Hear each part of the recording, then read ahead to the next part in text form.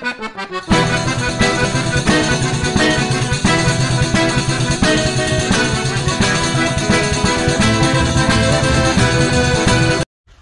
are you everyone?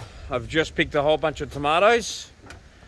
Um, we're gonna, I'm gonna be doing some jars this year. So I don't do the um, tomato sauce, more like jarred tomatoes. So what I do is, everyone keeps saying to me that the skin's no good and the, with Italians and stuff.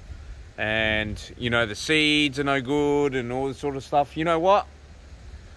In my family, we've been eating seeds and the skin all our lives. The only reason we we don't use the skin and uh, seeds is when we do passata. So there's all different versions of um, making tomatoes, sauce that is. I prefer to do jarred tomatoes because at least I know when I do the tomatoes they're fresh um, and you can squash them and I like the skin and I like having the seeds in there. They're heaps beneficial for everyone. So I highly recommend the skin to consume as well as the seeds. They're absolutely fine to eat. Absolutely fine. So I've it's been, benefited me for years and years and a lot of other people say that tomato seeds are good too.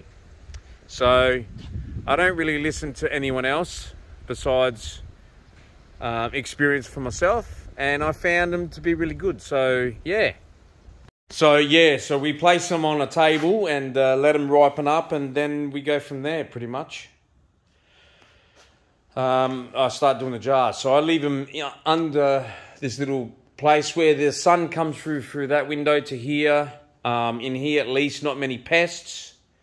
Uh, like this, it's better for me, and they ripen up and they come up real killer. So I leave them for about uh, three to three days to a week and um, yeah, we go from there.